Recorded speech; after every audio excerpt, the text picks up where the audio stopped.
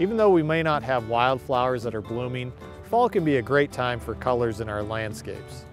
Plant leaves always contain a wide variety of pigments. During the summer, we obviously see a lot of the green pigments.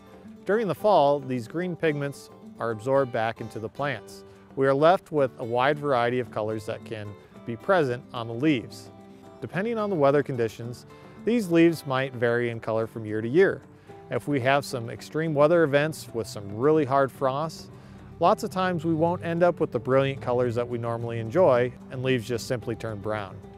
The color of your leaves will depend on the weather and the variety of plant that you have in your landscape.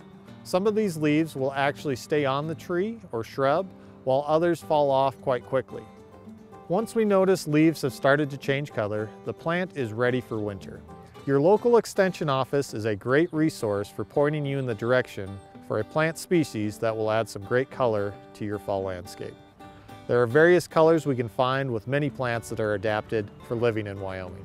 From the University of Wyoming Extension, I'm Brian Sebade, and you're watching From the Ground Up.